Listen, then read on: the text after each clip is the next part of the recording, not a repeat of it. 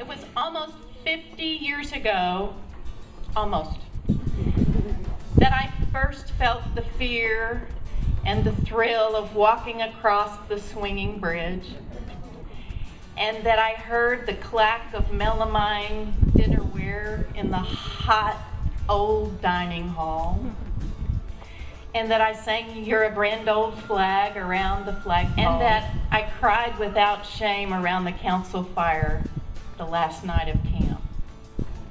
Thank you. Thank you for this place, and congratulations um, for this day. When we um, interview kids and teens and we ask them what it is about their uh, campfire camp experience that is most important to them, here's what they say, like over and over and over. They'll say, well, I can't wait to see the friends I made the summer before. They'll say, I get to learn stuff, but in a fun way, not like in school. They'll say, um, I get to be who I really am, not the way I have to fake it during the school year. They'll say, nobody ever judges me. They just let me be me. They will say, I get to give up my cell phone for a whole week, and so like, I don't have to text all my friends all the time. And they will say, um, I'm going to keep coming back because someday I want to be a counselor.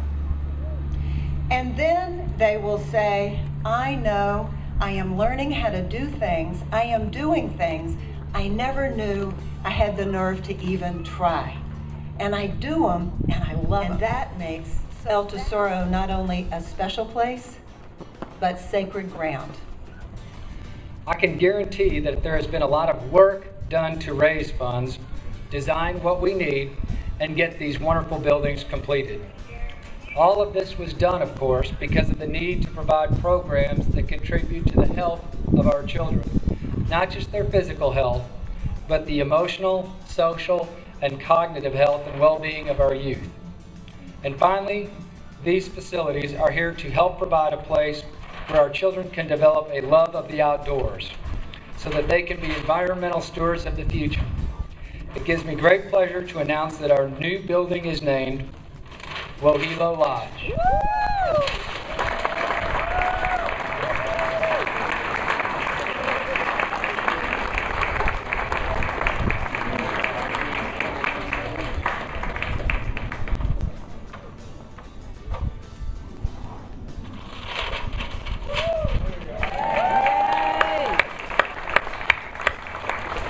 better cut the ribbon than one of our first campers. Okay, everyone.